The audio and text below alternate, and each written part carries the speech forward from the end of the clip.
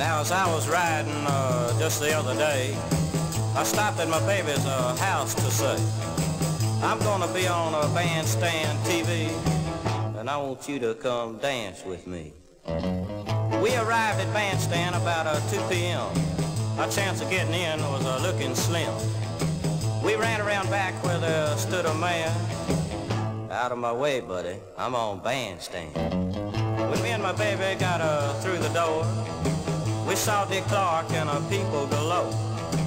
We had cats from all parts of town, just uh, rocking and bopping and messing around.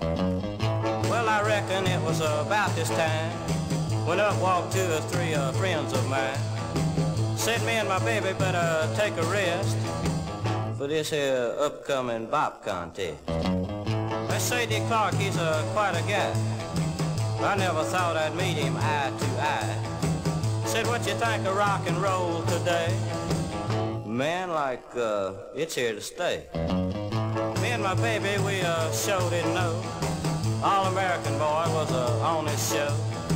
But they stood, uh, long and tall, stuff playing the guitar like he knew it all. We started strutting and we uh, just couldn't stop. Friction from my shoes got the floor pretty hot. Everything was fine with all this uh, rock and roll when the cats uh, started doing a stroll. Well, a stroll we just uh, couldn't take.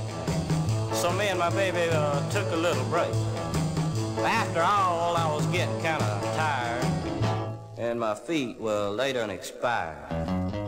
We then decided it was uh, time to go and split from this here TV show. So we bid farewell to good Dick Clark and headed uh, for where the car was parked. I arrived home uh, just in time to hear that uh, mother of mine.